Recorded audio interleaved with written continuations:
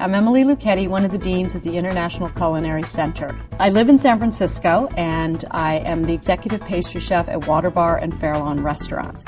Over the years, I've also written six cookbooks, and a couple of the awards that I've gotten that I'm really excited about are the Who's Who Hall of Fame from the James Beard Foundation, James Beard Pastry Chef, and also the Silver Spoon Awards from Food Arts. And then another thing that I'm really, really excited about is being a dean at the school because it's a fabulous school.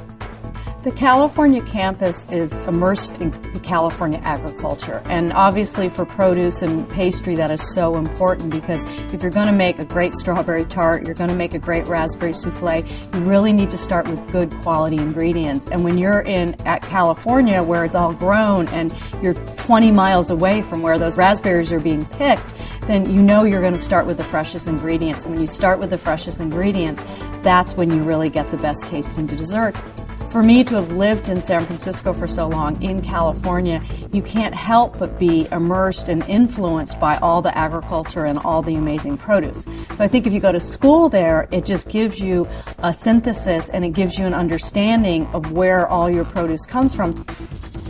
The possibilities in California where you can get a job after you graduate are a lot like the New York ones. The emphasis on the food and the style of cuisine is a little bit different. In San Francisco, you get a, a much more product driven and produce driven restaurants than you will in New York City just because we have the availability all year round.